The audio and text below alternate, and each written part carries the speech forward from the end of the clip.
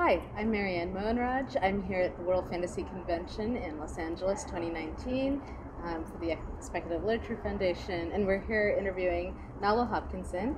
She's the author of Brown Girl in the Ring, Midnight Robber, The Salt Roads, The New Moon's Arms, The Chaos, Sister Mine. Those are all her novels, and then anthologies and collections such as Whispers from the Cotton Tree Root, uh, Skin Folk, Mojo Conjure Stories, So Long Been Dreaming, which is the post colonial science fiction anthology, um, Falling in Love with Hominids, etc., and so on. So it's a very long list. Um, I've read almost all of it, I love them all. And uh, what I really wanted to ask Nalo to talk about today is her use of language. Um, which I think is exceptional, and it's something that as a writer I struggle with a lot in my own work these days. I think, especially as someone who has done both um, sort of literary fiction with a focus on prose and is uh, and language, and now recently have been writing, trying to write more commercial fiction and sometimes um, and more genre fiction. And sometimes I find that when I am working with rocket ships or dragons um, and fast-paced plots and um, lots of dialogue, I feel like I'm losing my hold on finely crafted language and um, and beautiful speech, mm-hmm. and um, that's something you do so well. So I was going to ask you to uh, read the opening of Midnight Robber, um, which I've given her my phone, so it's now locked. There you go. and then uh, so I'm going to ask her to read the opening of that. And then uh, maybe we can just talk a little about how you approach that in your work. Okay. Um, so this is a mostly Trinidadian English vernacular uh, with a little bit occasionally of Jamaican and some bits of Guyanese thrown in. Um, and this is from the introduction. It had a woman, you see, a strong, hard back woman with skin like cocoa tea. She two foot them tough from hiking through the Diablo Bush, the Devil Bush on the prison planet of New Halfway Tree. When she walk, she foot strike the harder book like breadfruit drop into the ground. She two arms hard with muscle from all the years of hacking parts through the diablo bush on New Halfway Tree. Even she hair itself rough and wiry. Long black knotty locks springing from she scalp and corkscrewing all the way down she back. She named Tan Tan, and New Halfway Tree which she planted. Thank you. Welcome. Um, I know when I first read that, I was I was super struck by it. I love I love hearing you read it because um, I think initially I'm encountering as a reader a sort of a dialect I'm not familiar with, a way of speaking.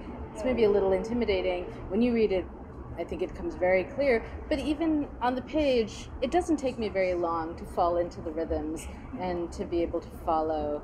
Um, so if maybe I know you teach a few hours from here. You're at uh, at the University of California Riverside. At the University of California Riverside. So I don't know whether this is something you work on with your students, if you have approaches that you give them along this, or just how you think about it when you're working with language in these texts. Mm-hmm. Now, first of all, I come out of a literary tradition uh, in the Caribbean of um, privileging uh, common speech and that's a movement that started when my father, who was a, a poet, a playwright, and actor, um, was still alive. Um, and there's people like uh, Kamau Brathwaite, like uh, Louise Bennett Coverley, who were saying, we speak like this, it is not bad English. It has its, and linguists who are discovering it has its own grammar rules, it has its own logic. Um, and so there began a movement of writing the way people speak. So I already have permission, is what I'm saying. Um, and also, everybody's speech is beautiful. I mean, if you listen, just listen to people talking on the street where they're not, you know, trying to censor themselves for an English class, uh, they flow.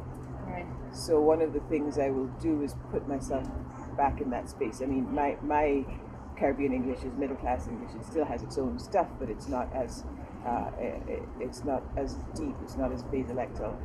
Um, Wait, I'm sorry, I don't know the word you just used. The, there's three words I've learned from linguistics, and they are acrolectal, mesolectal, basolectal. Okay. And it's a way of not getting into the trap of saying this is upper class speech, this is lower class speech.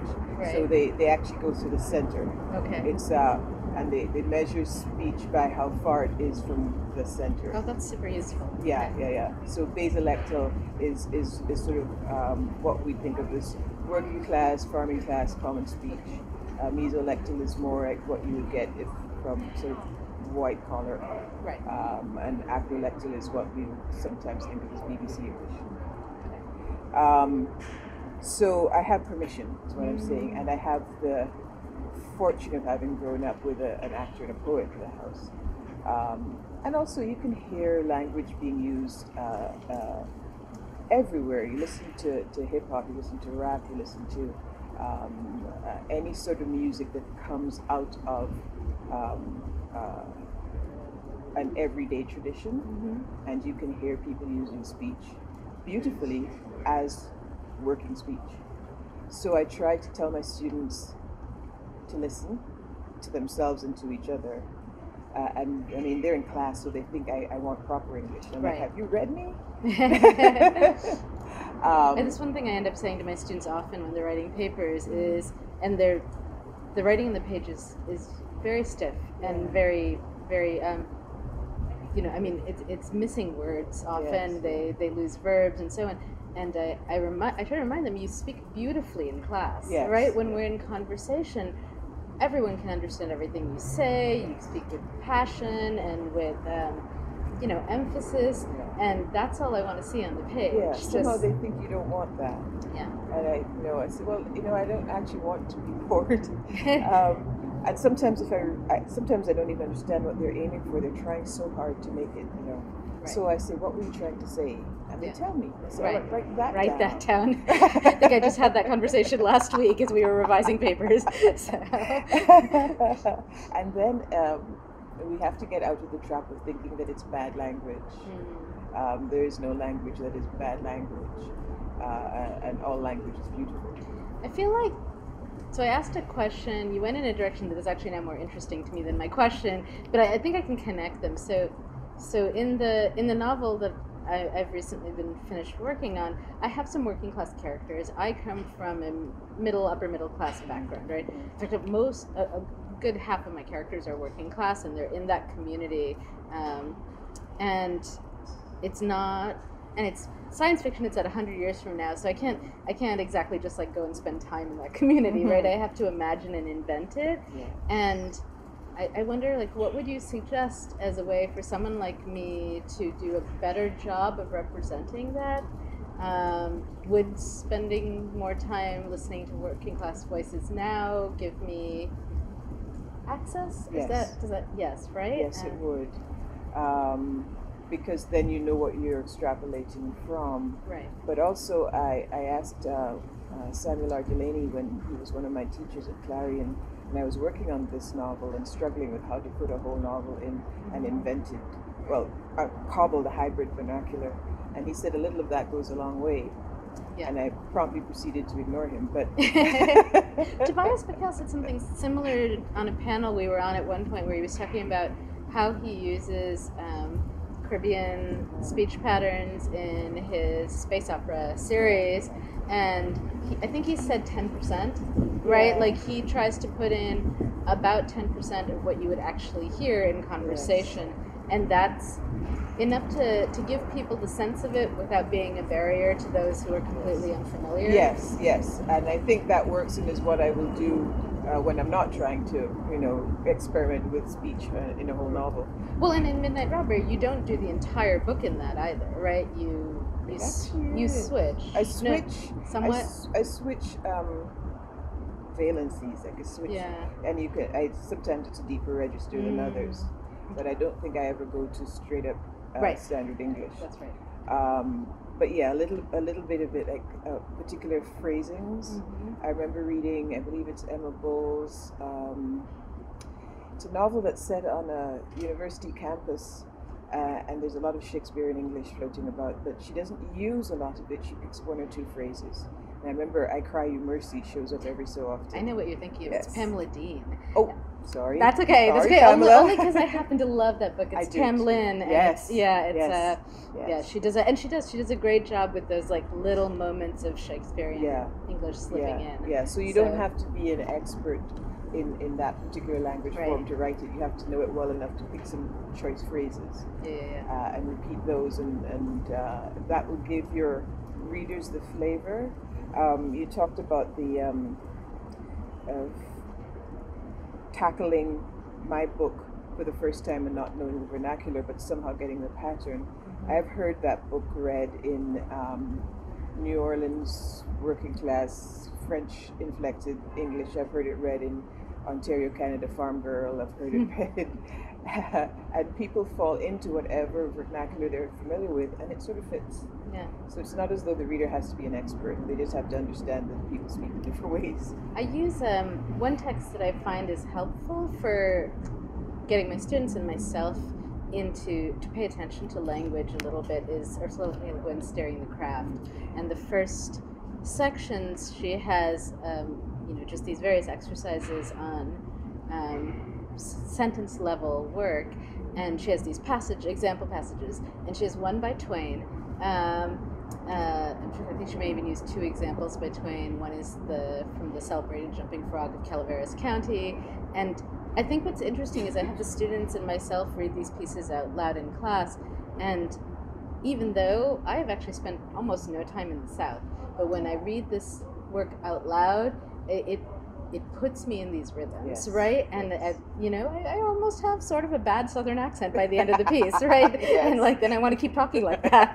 so It's you know, catchy. Yes. Um, yeah. and so I think I think the text, you know, there's this there's maybe an anxiety that if I if I write like this, the reader will not be able to find their way in. But it's you're kind of teaching the reader how to read this as as they go, right? They're science fiction fantasy readers. They're used to learning the text as they as they go. The the thing that I do sometimes um, hear is people they feel distance from it because they, they say, why would you want to write in bad English? Mm-hmm. Uh, and um, in the UK and the US, there are, there are traditions of writing of the way people speak. But uh, I have a former student who's teaching English in Korea, and he tried teaching this novel. I mean, he managed, but um, they don't have a similar tradition, so students couldn't understand right. why a writer wouldn't want to prove that she could manipulate language Right. in the standard form. Um, so you get that, that contempt, or people thinking I'm trying to express contempt for the characters. Well, that's really interesting. Yeah. I there's a, a short story, um, you know, the Goophered Grapevine. It's in, in Dark Yes, Matter, right? yes, Charles Chesnutt, where Yes. he switches registers between very, very formal standard English and um, and the, the language spoken by the black slaves on the plantation, Mhm. right?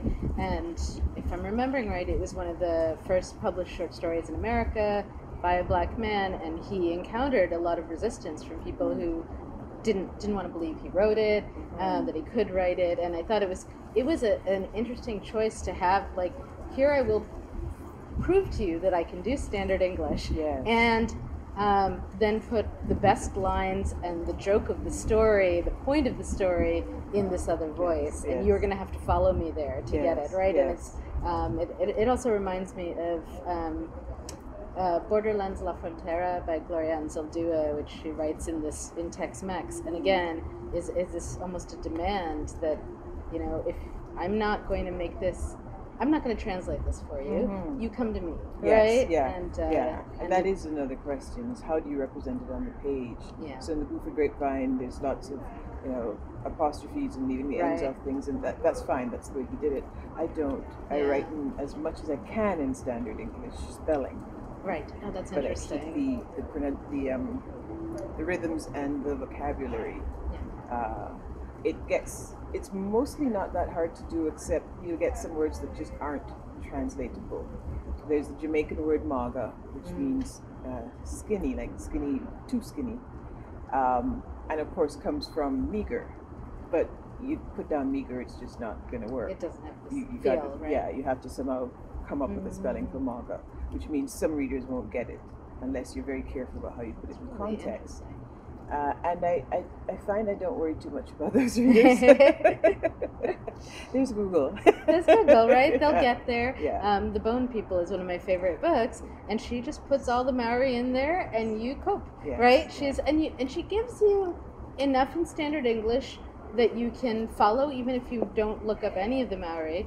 Um, if you do look it up, it adds so much, right? Yes, and um, yeah. and I actually, I have to admit, I do appreciate that there's a glossary at the end of my edition. So I, um, me but- too, but I, I hate glossaries. I know. But a- it, so I, I try. I read the whole book at first without using it at all. yeah, But Ashok I did too. Actually, like the second yeah. time through, I looked, I I started looking things checked, up. yeah. Ashok Mathur and, her, and I had a conversation. He's a, a Canadian writer. Yeah. Had a conversation about.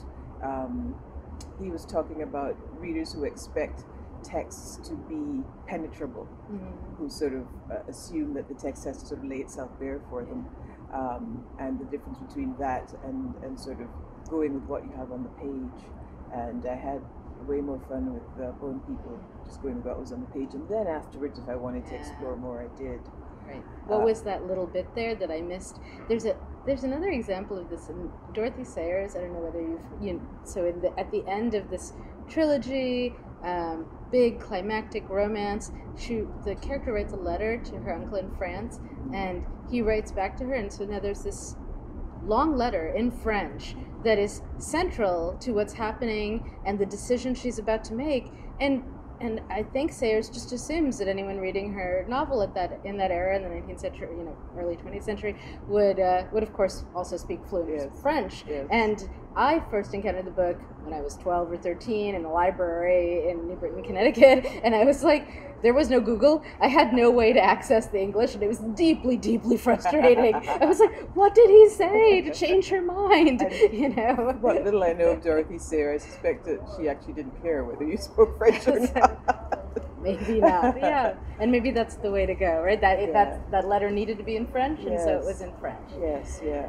So we are sadly uh, running out of time. I could talk to you forever, but um, I'll ask you maybe for one thing. I, I do think it's laziness, maybe for me. I mean, maybe that's not the right word, but like the approaching language on the sentence level with this kind of care, I find challenging. I find it, and I wonder if what what would you say to a student who's like, you know, handing you something and you're like, ah, the language is could be better, right? Like, are there any tips, any suggestions you give to get into the work a better way? And you mean someone who's trying to write in vernacular or just struggling with language in general? Maybe struggling with language in general. Yeah, I think the to to sort of get themselves to slow down and Hmm.